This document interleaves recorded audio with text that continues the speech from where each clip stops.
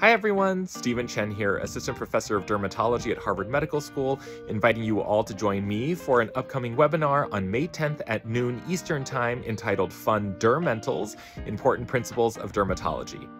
I'll be sharing some tips and tricks that I've developed along the way, as well as some great lessons that I've picked up as a dermatologist over the last few years, using visual aids, images, and diagrams to hopefully make skin health and skin disease a little bit more accessible for all of you. There'll also be a question and answer period where you can literally ask me anything. Another exciting thing about this webinar is that it's sponsored by Vaseline. They will be giving away some free subscriptions for VisualDx.